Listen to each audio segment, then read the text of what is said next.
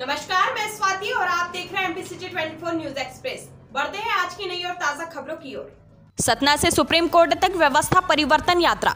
जबलपुर कमलेश त्रिपाठी, अखिल भारतीय हिंदू क्रांति पार्टी के राष्ट्रीय अध्यक्ष ने जबलपुर इंडियन कॉफ़ी हाउस में पत्रकारिता वार्ता करते हुए उन्होंने कहा कि हमारी पार्टी भारत की व्यवस्था परिवर्तन का राष्ट्रीय आंदोलन चला रही है।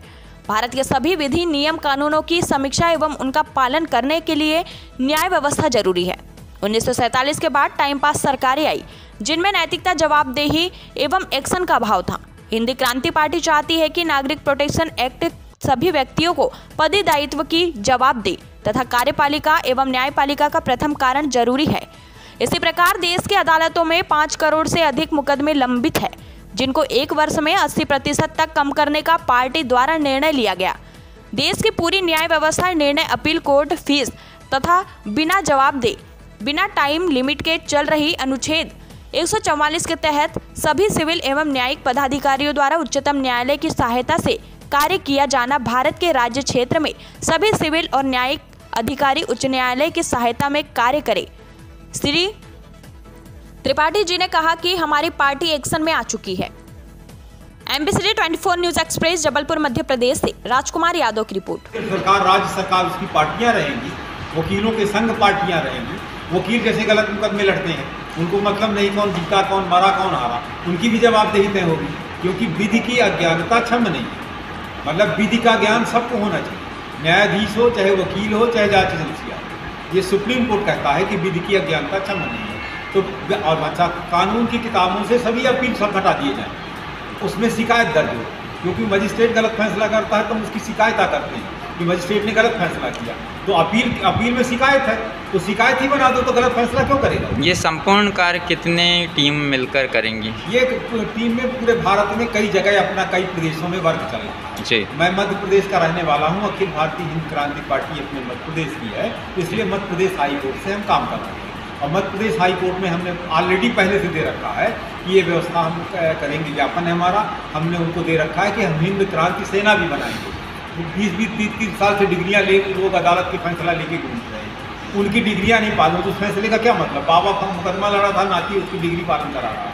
तो कमज़ोर हाई कोर्ट को हमें ताकतवर बनाना है। हम असहयोग आंदोलन नहीं चला रहे न हम सुप्रीम कोर्ट का विरोध कर रहे हैं, न हाई कोर्ट का, न केंद्र सरकार का, न राज्य सरकार का। हम सहयोग आंदोलन कर रहे हैं, क्योंकि हम इसके लिए पे करते हैं। हम जनता भी हैं। तो इन सब का, ये सब वेतन होगी कर्मचारी, चाहे जुडिशन में बैठा हो, चाहे विधायिका में हो, चाहे जनप्रतिनिधि हो। तो इसकी समस्याएँ सुनी जा सकती हैं। सुप्रीम कोर्ट से पूछा जा सकता है कि भैया हमें एक साल में न्याय चाहिए। तुमको क्या साधन चाहिए क्या सुविधा चाहिए क्या सुरक्षा चाहिए? Indian United People's Party ji. जी बताइए आज आप लोग ने बैठक का आयोजन किया या आपका इसका मूल उद्देश्य क्या था और किस एजेंडा पे लेके आज आप लोगों ने पत्रकार वार्ता किया पूरे भारतवर्ष में जितने भी कोर्ट की अवधारणा होती है प्रत्येक में पक्षकार होते हैं। और पूरे कोर्टों में पक्षकार ही सफ़र करता है। सबको मालूम है कि आज के देश में करोड़ों प्रकरण हैं जिनके कारण पक्षकार परेशान होते हैं। परंतु उनके कोई ये नहीं सोच पाता कि इनकी परेशानियों को कम कैसे किया जाए। इन्हीं सब बातों को लेकर के हिंद क्रांति पार्टी का रजिस्ट्रेशन करवाया गया और उन्होंने उनको न्याय दिलाने के लिए एक ये हम प्रयास कर रहे हैं। आज ये प्रेस वार्ता जो हो रही है, इसी के कारण हो रही है।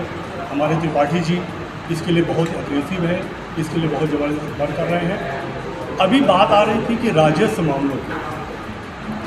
यदि कहा जाए तो कोर्ट में यदि विधि सम्मत न्याय तो होता है, परंतु राजस्व में विधि सम्मत न्याय नहीं होता। उसकी वजह केवल यही है कि जो भी राजस्व में अधिकारी हैं उनको जो नॉलेज है, वो केवल किताबी नॉलेज है। जब कोई प्रकरण आता है, जिस पक्षकार का आता है, जिस प्रकृति का आता है, वो किताब उठाते हैं, पढ़ते हैं और जो वकील आपस में दलील देते हैं, उन्हीं के आधार पर वो निर्णय कर देते हैं। स्वाविवेक की यदि बात की जाए तो स्वाविवेक का यूज़ करते हैं लोग परंतु न्यायिक प्रक्रियाओं को लोग नहीं कर पाते। न्याय की प्रक्रिया वही अपना सकता है, जो न्याय की जानकारी रखता है। जब वो न्याय पढ़ा ही नहीं ला कानून पढ़ा ही नहीं, ला उसने कभी पढ़ा ही नहीं तो अपन उससे कैसे भी माने कि वो विधि सम्मत न्याय कर सकता है। उसी को लेकर के हम पूरे संपूर्ण, पूरे भारतवर्ष में ये कार्यक्रम चला रहे हैं और एक जन यात्रा के रूप में मानिए, जन संदेश को मानिए, पूरी भारतवर्ष में, पूरे जितने भी प्रांत हैं, सभी प्रांतों में हम जाएँगे, हाई कोर्ट में पिटीशन दायर करेंगे सुप्रीम कोर्ट में पिटीशन दायर करेंगे और वहाँ के नागरिकों को, जैसे भाई साहब ने बताया कि नागरिक प्रोटेक्शन एक्ट हम लागू कराने का भी प्रयास कर रहे हैं तो उनको हम अवेयरनेस करेंगे कि आपके क्या अधिकार हैं। आप उन अधिकारों के प्रति कितने, आप जागरूक हो।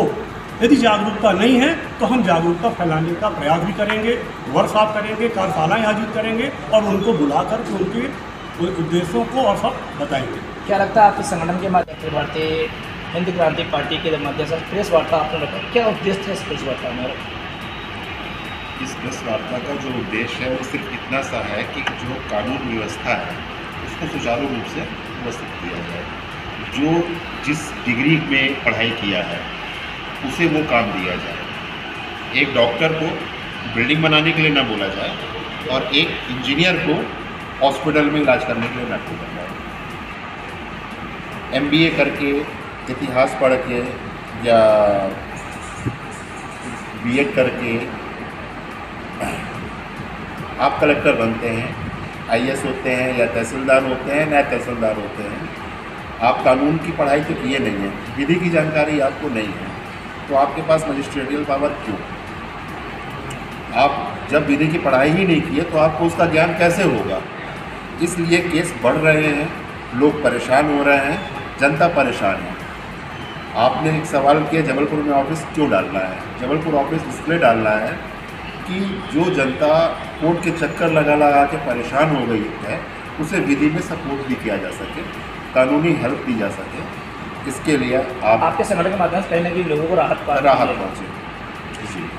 साथ में अभी कैसे कह सकते हैं कि विधि की पढ़ाई ना करने वाले जो कानूनी जो प्रदेश में है कानूनी की वो ला नहीं पड़ेगी। ऐसे कैसे हैं आरोप कैसे लगाना आपका? ये तो आपकी डिग्री बताएगी जो वहाँ पदस्थ हैं। ये जाँच का विषय है और ये जाँच करवाने का काम कानून का या शासन का है। आज जितने भी लोग पढ़े हैं, आज जबलपुर कलेक्टर है, उनका एजुकेशन क्या है?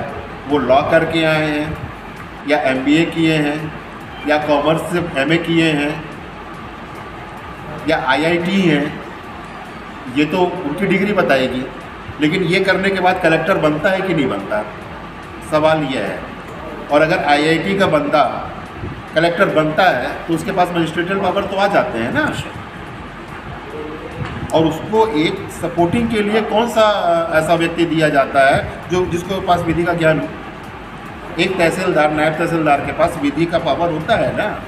मजिस्ट्रेटल पावर होता है। वहाँ पे कौन? वकील हैं। जो उसको बताते हैं कि इस धारा में ये काम करना है। ये प्रेरणा आप लोगों को कहाँ से आई कि इस चीज़ का आप लोगों को आगे आपने बढ़ाया? वर्तमान परिस्थितियाँ जो कहती हैं कोर्ट में इतने केस पड़े हुए हैं लोग परेशान हैं। दिख रहा है। और जो दिखता है उसी पे तो काम होता है। सब पढ़े लिखे लोग हैं हम लोग सब अपना पूरा भारत